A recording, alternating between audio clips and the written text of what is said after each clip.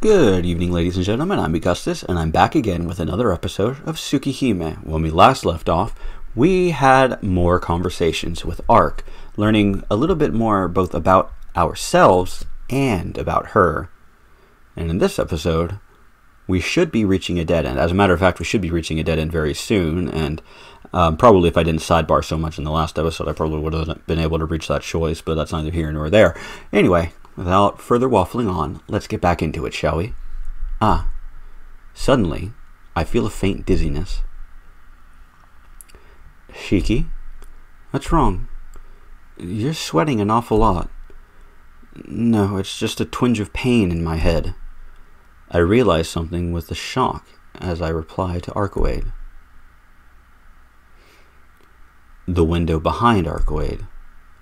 Beyond the glass within the city street, still sunken in the darkness of night, a blue crow is looking in my direction. That's. I can do no more than stare at its dim figure through the window. Arcueid turns to the window too, turns towards the window too. Fucking hell. I hate that name. Fucking hell. Um, Nervinsker. No, um, I'm going to pronounce it like it's properly pronounced. Like this. Nervins. You can't see my mouse. Nervinsker. Mr. Uh, no nouns, or no verbs. God, I'm tired. Uh, Mr. No Verb's name over here. That's pronounced Nero. His name is Nero Chaos. Yep, that's what you're supposed to get out of that. I don't remember if it tells you his last name is just Chaos in this, but his name is Nero. Yep, that's Nero. Yep, just drink it in. Look at that. N R V N Q S R. I think it's supposed to be something like 666666 or some shit like that. I don't I don't know. It's dumb. It's a dumb name. Nero. Indeed. I have finally found you, princess of the true ancestors. From somewhere, a force of will flows into the room. Arcueid's eyes are full of enmity. Outside the window, the crow gives a loud, high pitched scream. This is it. I am heading there right now. The blue crow flies off. All that remains is the dark of night and the white moon. Suddenly! With a heavy noise, the room shakes violently. No, to be more precise, the entire hotel shook from that impact. The hell? I get up from the bed. Arcueid is silent, biting her lip with a vexed expression. Arcueid, shaking just now. She doesn't answer. Say something. That wasn't an earthquake, was it?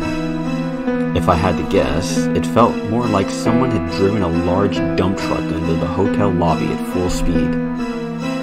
It was that kind of impact. Arcueid. She doesn't answer. If I listen closely, I can hear noise from downstairs. Arcueid's face is grave. She said she was powerless right now. It's probably why she's not saying anything. Only time passes by. Two minutes. It's been two minutes after the impact, but the hotel is awfully quiet. Arcueid remains silent and still, just biting her lip as if withstanding something.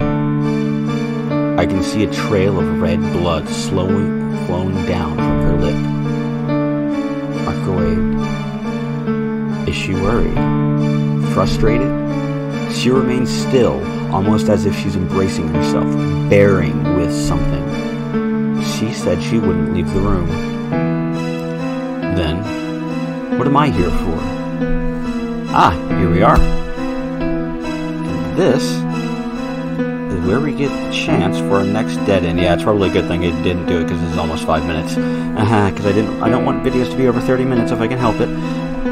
So we are going to go for the bad end first, and we're going to stay in the room and keep watch. As long as Arcueid is unable to move, blindly going outside would be dangerous. Gripping the knife with one hand, I hold my breath. Arcueid is silent too. She looks like she's being careful of what's around her. The floor below is being noisy. Perhaps the shock woke up the guests, and maybe they're complaining to the hotel people. It's still four in the morning, but even so, the noise is as loud as that of a festival. Even that falls silent a few minutes later. The noise disappears. A sickening silence. The lights go out. At the same time, the sound of countless things hitting the door. Are you prepared, Shiki? Arcueid whispers in the dark.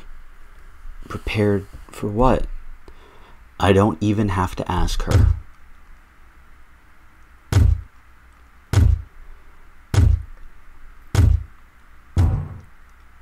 If remaining in here was a mistake, then that question was also a mistake. I turned towards the door at the sound of it breaking. No sound escapes from my mouth. As I turn around, bright white teeth fill my vision. Like a gentle maw capable of consuming me whole. Somehow, I'm able to calmly tell that it's the jaw, it's the jaws of a shark. Okay, I forgot about that. I forgot about this dude's powers for some reason because I'm a, I'm an idiot. Fresh blood spills everywhere. With a thump, what remains of my body falls to the floor. What falls is my head. Everything below my face has been consumed in one bite. That is the last scene I ever see. End. Hooray. We've gotten another bad end, which means we get another one of Ciel Sensei's lessons. You excited? I'm excited. I'm definitely excited. Want to see what she has to say about this? Bonjour! Corner is for the unlucky Tonokun who easily ended up in a dead end again. It is time for Teach Me Ciel Sensei. Now, we will start with second period. This time, we will present the first Snakes and Shivers Animal Land from the series that gives detailed observation of wild animals. Sensei, I have a question before that. That name sounds really stupid. In Japanese, you can read your name as Chiel. Question denied. Now then, Tonokun, I think it's good to be prudent, but this time it seems to have backfired. Basically, you are a hero, so a little recklessness will be forgiven. It will be forgiven, but in a case with an absurd animal like a shark, I guess you could do much. We'll just have to abandon Arcueid this time around. Hey, I don't want to hear that from Chiel. Abandon her. Yeah, no violence. Anyhow, please prepare yourself to explore the hotel alone. Inside, you'll find a whole animal kingdom. As a representative of primates, let's show the beast what we've got. Yeah. Uh, starting, uh, we gotta put down the Planet of the Apes before it even starts. I cannot remember the name of the prequel movie that came out however many years ago that was at this point. Uh, longer than I want to think about. So we're gonna load our save. And we will do the smart thing and hold control instead of just skipping past text and go check what's happening outside. Alright. I've decided what to do from the very beginning. Taking the knife out of my pocket, I walk up to the door. Shiki, going to check things out. Don't leave this room until I come back. I step out into the hallway, shaking off Arcueid's look that she wants to say something. No one is in the hallway. I couldn't hear from inside, but the hallway is noisy. It's not that this floor is noisy. Rather, the noise is coming from beneath my feet. There is some kind of ruckus on the floor below. I can hear the noise of many people talking. Oh, um, I should point out Uh, there's another bad end coming up that I think I will try to show in the next route, um, but I don't think there's any way for me to get it this time without replaying everything so far. So I will hopefully have it next time or next uh, next route rather. Hopefully. I suppose the impact just woke the guests and they are complaining to the hotel. It doesn't look strange so far. I walk down the hallway. The noise from downstairs is like the sound of ocean waves. Noisy, and yet so very solitary and inactive. My fingers gripping the knife feel numb. A chill runs over the back of my neck. There's something near my temple. Pain emerges from the back of my eyes. Enduring it, I walk down the hallway. It hurts. My eyes hurt. My head grows heavy and I feel a drifting sensation like I'm about to collapse right here. Yeah, I know what this is. Without a doubt, this is the feeling I get right before I collapse from anemia. Uh, uh, it hurts. It hurts. Unable to withstand it any longer, I remove my glasses. I can see the elevator. A long hallway. It must be more than 10 meters from here to the elevator. And then, with a ding dong, the elevator comes up to the 11th floor. I can see the lines on the elevator door.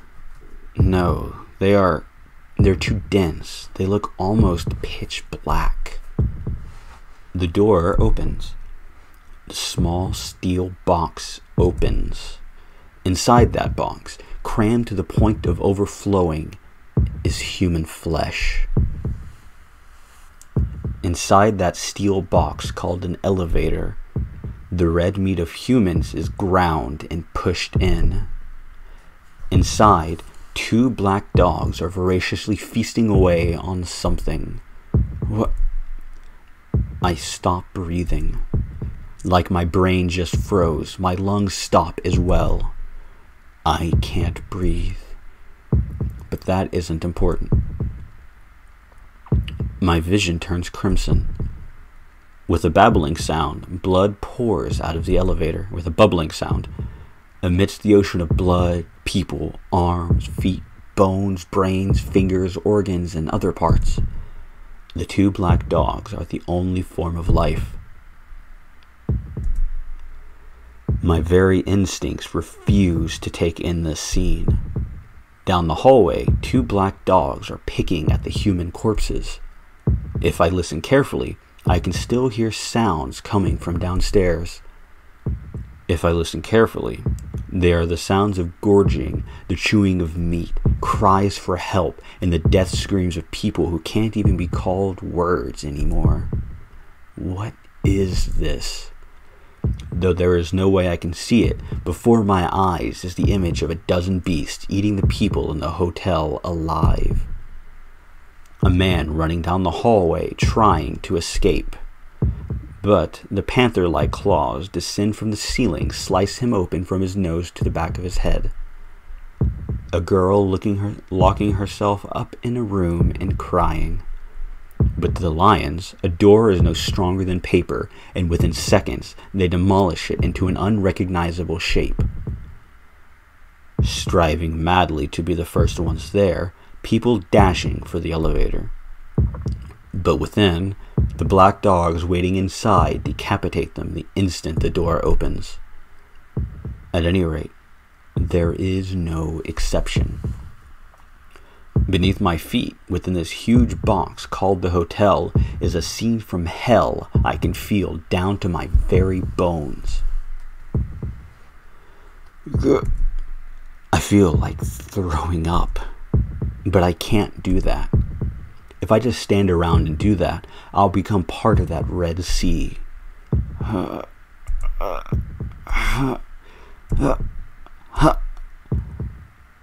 I resume my breathing. I grit my teeth hard. The dogs inside the elevator notice me. All sounds from below have ceased. Uh, in other words, there is no longer anyone alive. The black dogs begin to run. Of course, towards the elevator, the last prey. The black dog is coming for me. On their bodies, I can see an infinite number of lines, and on their forehead, the point of death. But even so, my paralyzed mind does not order my body to fight or run. The first black dog leaps. Its speed belies all human comparison. It doesn't even take two seconds to cover the 10 meters down the hallway. They open their mouths. Mouths filled with fangs so many sh- times sharper than the knife I have, and they are aimed straight at my throat. Accurate and fast. The instant I realize they are drawing upon me, the fangs bite into my throat with a crunch. I die. But that's not right. I can't be killed by something like this, and I refuse to die. The deaths of others would not cause me to hesitate. A hot summer's day. It happened long ago, eight years ago. I've seen something even more terrible. Thrust. I thrust my knife into the forehead of the black dog, biting into my neck. My arm moved just before the black dog ripped through my throat. It was done so perfectly, even for myself. Like a machine whose sole purpose, whose sole function is to cut, I plunged the knife into the dog's forehead without any useless and wasted movement. Because that's where the first dog's point was. Normally, even if the brain is destroyed, the muscles try to execute the command they have received from the brain. The black dog probably would have probably ripped through my throat even if I had simply pierced its head. Ah, blah blah blah, flub flub flub flub flub. Well, normally that would happen, but the black dog is dead. Death is a complete stoppage. At the point when I killed it, it lost even every form of validity. The first dog falls onto the ground. In its place, the second dog flying straight at my face. I thrust the knife right into its open mouth, but that was a mistake. The dog's point is not even on its face, but on its chest. Just stabbing it in its mouth will not kill it. The knife pierces through the dog's mouth and into the back of its head. Naturally, the hand holding the knife still remains in the dog's mouth. Ah, the black dog is still alive. Its jaw shuts. The point between my arm and the hand holding the knife is bitten, about to be ripped apart. Proper thought returns with the pain. Uh, uh, you have to be kidding me. It, it's just as if I'm just letting him chew through my arm by stabbing him in the mouth. I, you. I try to pull my arm out. The dog's teeth are deep in my arm. It doesn't seem like I can pull it off. More importantly, this dog, despite having pierced in it, having been pierced in the head, is still filled with life. Even though I lift after piercing its head, it shakes and lands on top of me. Go! I fall onto the floor. I still can't pull my arm out. The black dog, still pierced in the head, applies more power to its bite. M- my arm is surely going to be torn off. I can't believe this. No dog ought to be able to bite anything in that state. You. I feel something wet. I can see blood spilling from the black dog's mouth. Is it the black dog's blood leaking from its wound, knife wound to the head? Or is the blood coming from my arm about to be torn off? To be honest, my head is too messed up to be feeling the pain, so it isn't a big deal which one it is. Let go! Trying to wrestle away from the black dog. but it is firmly attached to my arm. I can't escape. I can't run away. If I want to escape, I have no choice but to kill it. But how? The hand it's biting off is the one holding the knife. I'm on the ground, so even if I did pull my hand out, the very next instant the black dog's mouth will be free to bite through my throat. Ah, it's okay. Calm down, Shiki. First, you've got to examine this situation and then think calmly about it. That's the kind of thinking you've always kept. In that case, I can do something. For example, there's plenty of lines on the back of its head, and I can see the black point on its chest. The way to survive is awfully simple, but I have my doubts about executing the plan. No matter how savage and evil a creature it is, to do something like painting and gasping creature, and to do something like kill a panting and gasping creature that's so alive, that's so cl- that's close to me. It's something I'm hesitate, I'm hesitant to do. G- the pressure on my arm increases. My entire arm is shortly going to be ripped off at this rate. But even so, I just can't do something so cruel. And I think this is where I'm going to end the episode. I'm uh, apparently can't read. It's not super super early, but still uh, a little bit earlier than normal. I just bumped my microphone a bit, um, but even still, since I can't read, I'd rather. Uh, since apparently I can't read, even worse than normal. Um, I just I'm going to end it here. So, will Shiki be able to execute his plan? What happens with silly named person who I just don't want to have to read his name again because I have to remember not to call him, not to try to pronounce the amalgamation of vowelless. Of, ah, just thinking about it's giving me a headache. Well, we will absolutely see more of him and his dumb name next time, and I hope to see you all there.